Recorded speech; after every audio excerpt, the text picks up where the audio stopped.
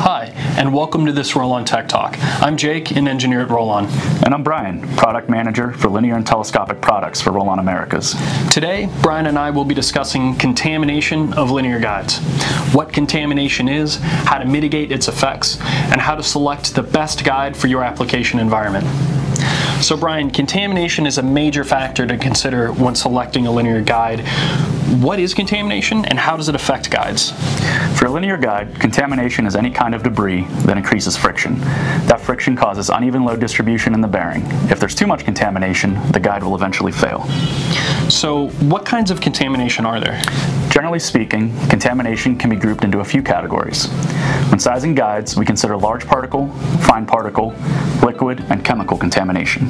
So large particles would include things like sawdust, large machine chips, weld spatter, and things along those lines. What guides are appropriate for environments with those contaminants? Large particle contamination is not an issue for guides that have appropriate seals or scrapers to help keep the contamination out of the bearing surfaces of the guide.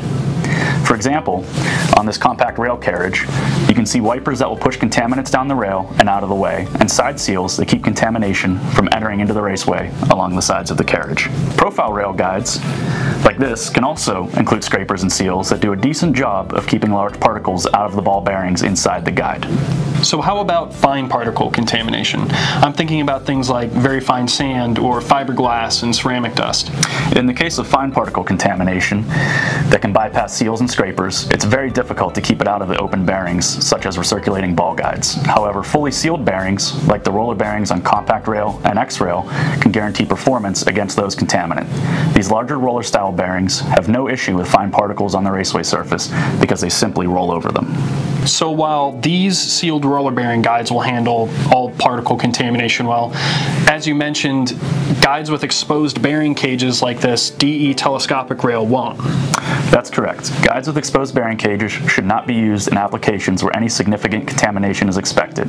For a telescopic application in a contaminated environment, we recommend our Telerace guide. In addition to sealed bearings, they also feature wipers to push contaminants out of the rail, making them very resistant to contamination.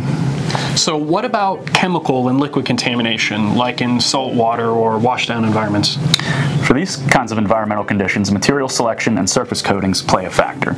We offer full stainless steel components for many environments. For outdoor and marine environments, we have plating options including zinc nickel or thin dense nickel chrome. For medical or food applications, where washdown chemicals will be present, nickel plating can be provided. For high wear applications, surface hardened black nitride finishing is available as well. So with all these options available, where can someone go to learn more about what guide is going to be best for their application environment? For more information on these guides and the applications they are suited for, you can visit our website and product catalogs. If contamination is expected in an application, we recommend reaching out to a Rollon engineer to ensure the best configuration is selected. Thanks, Bryan. For more information on these guides or to get in touch with a Rollon engineer to select the best guide for your application, please visit rollon.com. Thanks for watching.